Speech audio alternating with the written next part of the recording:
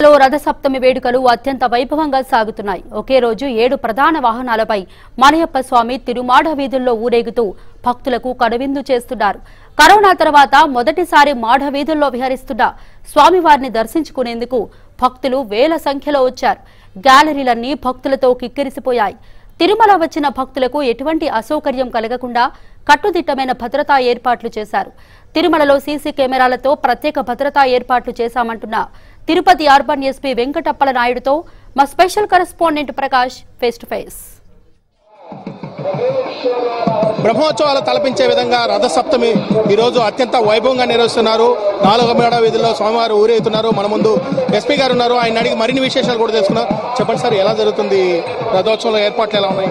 రథసప్తమి ఉత్సవాలకి తరలివస్తున్న భక్తజనం అందరికీ కూడా ఎటువంటి ప్రమాదాలు రాకుండా ఎటువంటి ఇబ్బందులు కలగకుండా పోలీస్ సిబ్బంది విజిలెన్స్ సిబ్బంది ఇండమెంట్ సిబ్బంది అందరూ కూడా కలిసికట్టుగా కోఆర్డినేషన్స్తో అన్ని రకాల ఏర్పాట్లు చేయడం జరిగిందండి. తిరుమలలో బ్రహ్మోత్సవాలు నెక్స్ట్ రాబోయే బ్రహ్మోత్సవాలు ఇదే విధంగా జరగనున్న నేపథ్యం. అంటే ఈ రోజు మనం చూసినట్టయితే రథ సప్తమి రోజు కూడా ఇదే ఇదే విధంగా జనం కూడా రావడం జరిగింది. మున్ముందు ఎలాంటి ప్రణాళికలతో ముందుకెళ్తాం? సో మనకి కోవిడ్ బ్రేక్ వచ్చిన తర్వాత ఇదే జరుగుతున్న పెద్ద అకేషన్ అండి.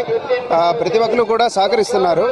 సో ఇప్పుడున్న మన ఛాలెంజెస్ అన్నింటినీ ఓవర్కమ్ చేయడానికి భక్తులందరి నుంచి కూడా మనకు సహకారం కావాలి. అదేవిధంగా సిబ్బంది అందరూ కూడా ఒక ఒక కృతనిశ్చయంతో పనిచేస్తున్నారు. ఇవన్నీ కూడా కలిసి వచ్చిన రోజు ఏదైనా కూడా సజావుగా జరుగుతుందని మా యొక్క ధైర్యం. అంటే గతంలో కూడా టీటీడీ ఏదైతే సెక్యూరిటీకి సంబంధించి అయితేనే పోలీసుకి సంబంధించి సమన్వయం లేదు అనేది కూడా కొన్ని విమర్శలు వచ్చేది. అయితే ఈసారి ఎలా ఉండబోతుంది సార్?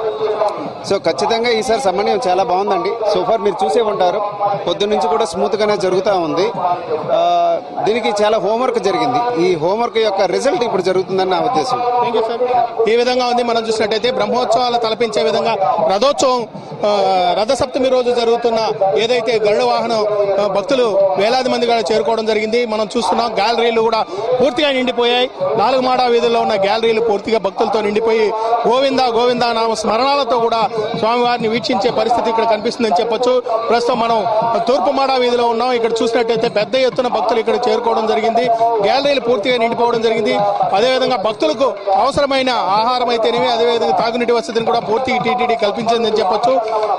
ఈరోజు ఈ రోజు జరిగే రథ సప్తమి ఏదైతే ఉందో బ్రహ్మోత్సవాలు తలపే తలపించే విధంగా కూడా ఈ రోజు ఈ కార్యక్రమం నిర్వహిస్తున్న నేపథ్యంలో భక్తులు పెద్ద ఎత్తున కోవిడ్ తర్వాత బ్రహ్మోత్సవాలు చూసే చూడడానికి పెద్ద ఎత్తున తిరుమలకు చేరుకోవడం జరిగింది. కోవిడ్లో బ్రహ్మోత్సవాల్లో అందరూ కూడా తిలకించలేకపోయారు.